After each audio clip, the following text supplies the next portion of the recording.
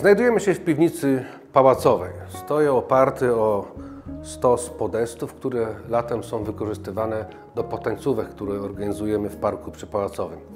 E, Piwnica jak piwnica, zwykle nie jest udostępniona do zwiedzania, ale dzisiaj zrobiliśmy wyjątek.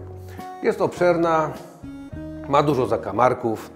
Kiedyś trzymano tutaj plony, czyli wiadomo, ziemniaki, cebulę, jakąś marchew, kapustę, to co zebrano z pola.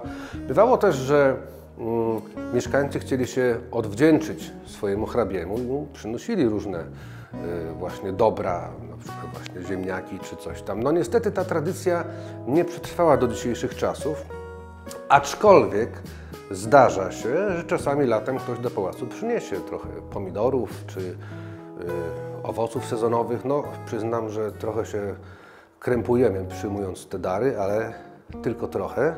Dlatego y, przyjmujemy wszystko, y, ale oczywiście y, z pokorą. O, a tam jest pan Wojtek. Pan Wojtek to w zasadzie jest taka sprawa trochę jak z tym kominkiem. Pan Wojtek przychodzi i sprawdza, czy są tam ziemniaki, bo w tym miejscu zawsze były ziemniaki. Teraz ich oczywiście nie ma, ale pan Wojtek dalej przychodzi i się dziwi, dlaczego ich nie ma.